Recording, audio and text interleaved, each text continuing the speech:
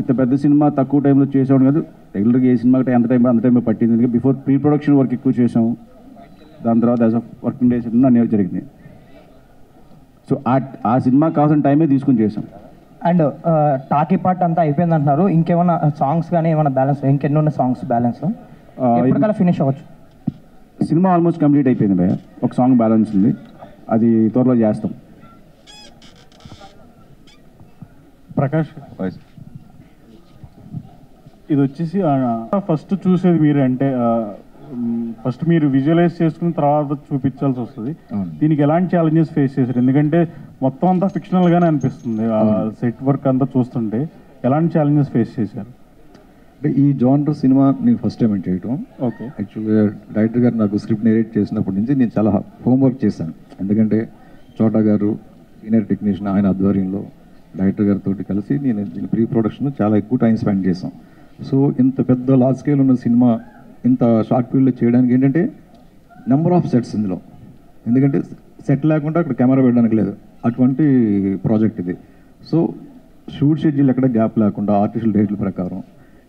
At a time five six సెట్లు అంటే ఫ్లోర్స్లోనే ఒకటి వేయడం ఒకటి అట్లా అంత స్పీడ్గా క్వాలిటీతో దట్టు క్వాలిటీతో డైరెక్టర్ గారు ఏమైతే ఎక్స్పెక్ట్ చేశారో ఇది రీచ్ అవ్వడానికి నేను హండ్రెడ్ పర్సెంట్ ట్రై చేసి చేశానండి. సో ఇది నాకు ఛాలెంజింగ్ వర్క్ ప్లస్ నేను చాలా ఎఫెక్ట్ పెట్టి చేశాను.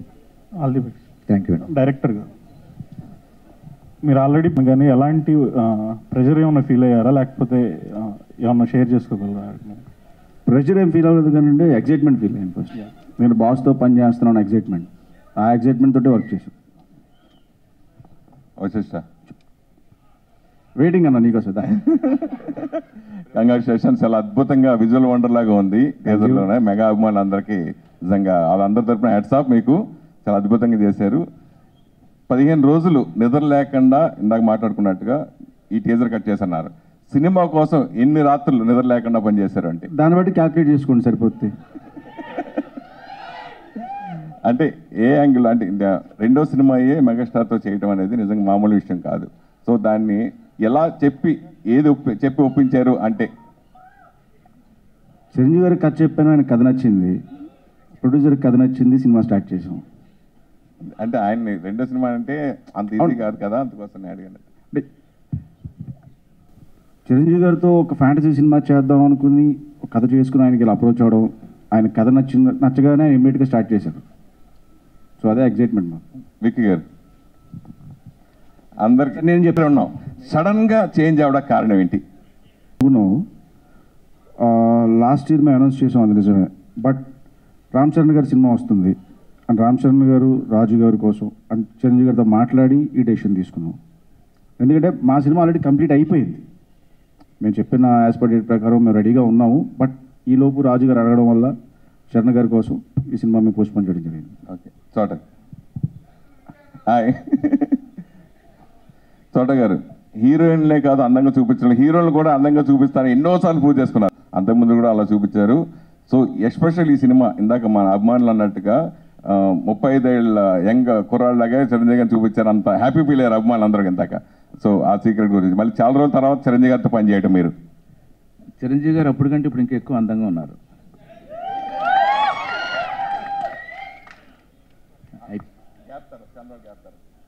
చాలా రోజులు గ్యాప్ తర్వాత. చిరంజీవి గారితో అప్పుడు పనిచేసింది ఎందుకంటే ఇప్పుడు చిరంజీవి గారితో పనిచేయడం ఎక్కువ ఛాలెంజింగ్ మళ్ళా నేను ఒక కొత్త కెమెరామ్యాన్లా పనిచేయాల్సి వచ్చింది ఆయన దగ్గర. అంటే టెక్నికల్గా కానీ ఇన్ ఆల్ ఆస్పెక్ట్ చిరంజీవి గారు ఎక్కడికో వెళ్ళిపోయారు.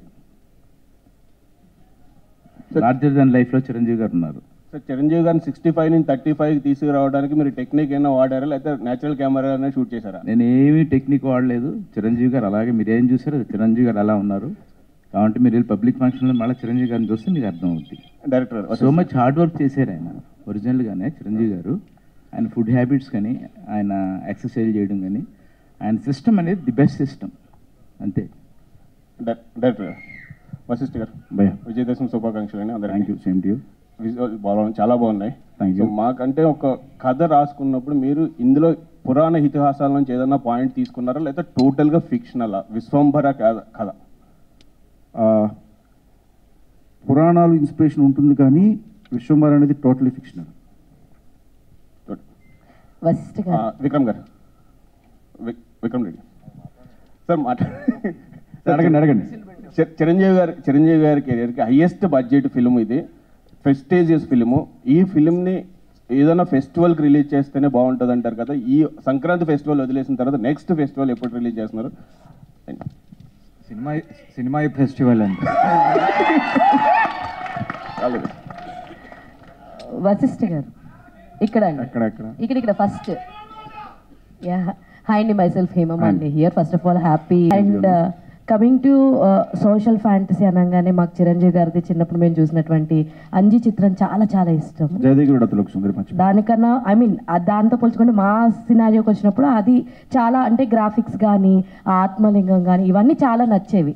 సో ఇప్పుడున్న జనరేషన్ కిడ్స్కి కానీ ఎవరికైనా సరే ఇది ఆ విజువల్ వండర్ అవుతుంది అని చెప్పి మాకు డెఫినెట్లీ అనిపిస్తుంది టీజర్స్ చూస్తుంటే.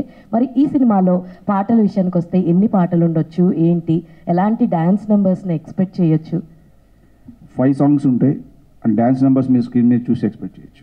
మీరు అంతా ఎక్స్పెక్ట్ చేసుకోండి. మనం చెప్పకూడదు వాటి గురించి మరి. చోట గారు. సార్ అంటే మీరు అన్నారు ఇప్పుడు నేను ఇప్పుడు ఒక కొత్త కెమెరామ్యాన్ లాగానే వర్క్ చేయాల్సి వచ్చింది అని చెప్పేసి అని అన్నారు కదా. సో ఇలాంటి విజువల్ వండర్ ఫిలిమ్స్కి కెమెరా వర్క్ చేస్తున్నప్పుడు మీకు ఏదైనా ఛాలెంజింగ్గా అనిపించిన సిచ్యువేషన్ ఏమైనా ఉందా? ఈ సినిమా అంతా బిగినింగ్ నుంచి నిన్నటి వరకు ఛాలెంజింగ్ ఎవ్రీడే ఛాలెంజింగ్ ఎందుకంటే చాలా చెప్పనా? వద్దా? తర్వాత చెప్తా. చోటా గారు ఇక్కడిక్కడ సో అంటే చిరంజీవి గారి విషయంలో ఆయన చాలా చేంజ్ అయ్యారని చెప్పారు కదా. At the same time Trisha కూడా ఉన్నారు ఈ సినిమాలో. ఓకే. అప్పట్లో చేశారు. మళ్ళీ ఇప్పుడు మళ్ళీ జోడీ కట్టారు. సో ఎట్లా అనిపించింది త్రిష గారి విషయంలో? చిరంజీవి గారి పక్కన. దృశ్య కూడా ఇప్పుడు ఎందుకో చూడగానే బాగుంటుంది మధ్యన. అప్పుడు నేను చాలా సినిమా అంటే రెండు మూడు సినిమాలు చూశాను కానీ అప్పటికంటే ఇప్పుడే నాకు దృశ్య బాగుంది. ఇది చాలా తమ్మనేలు మీకు ఈరోజు. కోసం అండి. అదే చిరంజీవి గారి కొడుకు కాకపోయి ఉంటే? ఏదైనా మళ్ళీ ఆ చిరంజీవి గారి decision at the end of the day Chiranjeevi గారు ఏమన్నారు? డ్రాప్ అవుదాం అన్నప్పుడు. ఎందుకంటే సంక్రాంతి బారి అనేది చిరంజీవి గారికి కూడా ఒక సెంటిమెంట్ సెంటిమెంట్ని కాదన్నారు కొడుకు కోసం. సో చెప్పినప్పుడు ఆయన ఎలా రియాక్ట్ అయ్యారు? ఏమన్నారు మీతో? అంతే ఏదైనా ఇండస్ట్రీ కోసం అండ్ చరణ్ కోసం అండి. బేస్ ఎందుకంటే గ్యాప్ ఉండాలి పెద్ద సినిమాలో. చరణ్కి గేమ్ చేంజర్కి మంచి డేట్ అవుతుందని సంక్రాంతి ఆయన కోసం సాక్రిఫైస్ వశిష్ఠ గారు. సో రీసెంట్లీ కీరవాణి గారి సంగీతం చూస్తే కొంతవరకు అంటే టాప్ నాచ్లో ఉండే ఆ మ్యూజిక్ అనేది కొంతవరకు డౌన్ అట్లా డౌన్ అయినట్లు అనిపిస్తుంది. లాస్ట్ మూవీస్ చూస్తే మనం. సో మీ మూవీకి. మీ అంటే ఆడియో చాలా బింబిసారా కాదు లాస్ట్ టైం లవ్ మీ కావచ్చు ఇలాంటి సినిమాలు. సో మీ మూవీకి ఇప్పుడు చిరంజీవి గారిది కాబట్టి కంపల్సరీ ఒక కేర్ తీసుకుంటారు. సో ఎట్లా ఉంది మ్యూజిక్? అని ఏమైనా సాంగ్స్ ఏమైనా ఎప్పుడు రిలీజ్ చేస్తారు? సాంగ్స్ రిలీజ్ చాలా టైం ఉందండి ఇంకాని. ఎందుకంటే ట్రైలర్ అవ్వాలి దాని తర్వాత సాంగ్ స్టార్ట్ చేస్తాం. అండ్ మీరు అడిగిన క్వశ్చన్కి కిరవాణి గారు ఒక బాహుబలికి త్రిబులర్కి ఏ ఎఫెక్ట్ పెట్టారో ఈ సినిమాకి అది ఎఫెక్ట్ పెట్టారు. ఆయన ఎప్పుడు డౌన్ అవ్వలేదు. ఒక్కొక్క సినిమా ఆడితే ఆడకపోవచ్చు. దానికి ఒకళ్ళ కారణం ఉండదు అందరూ ఉంటారు. దానికి మ్యూజిక్ ఒకటే అని ఎక్కడ మేము ఆయన చేసిన ఆల్మోస్ట్ అన్ని సాంగ్స్ మ్యూజికల్ హిట్స్ అయినాయి. వశిష్ఠ గారు ఇక్కడ sir. Happy Dasara sir so first of all this is Chandu anchor from Filmy Looks and first of all Vishwambhara teaser అయితే చాలా బాగుంది. అంటే ఫ్యాన్స్కి ఏం కావాలో అది మీరు పట్టుకున్నట్టున్నారు. సో అదే విధంగా ఇచ్చారు. అంటే మామూలుగా స్టోరీ చెప్పినప్పుడు తర్వాత ఆయన గెలిచినప్పుడు ఒకలా ఉంటుంది సెట్స్కి వచ్చిన తర్వాత చాలా డిఫరెంట్గా ఉంటుంది. ఎందుకు ఉంటుంది?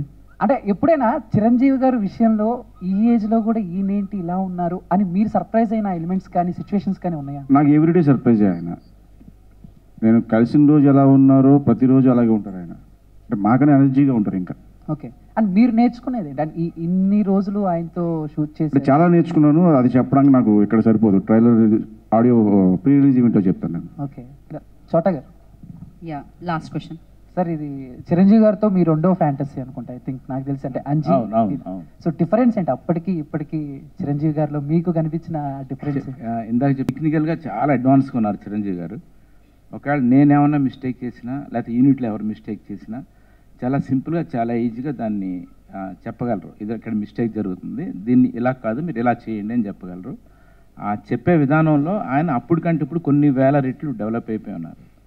That is Chiranjeevi. Sir Chiranjeevi గారు అంటే డాన్సర్. సో విశ్వంబరలో మేము అలాంటి ఎక్స్పెక్ట్ చేయొచ్చా? చిరంజీవి గారి మూమెంట్స్ డాన్స్ మూమెంట్స్ చిరంజీవి గారు చిరంజీవి గారు ఎలా అయ్యారో ఈ సినిమాలో కూడా అలాగే ఉంటారు.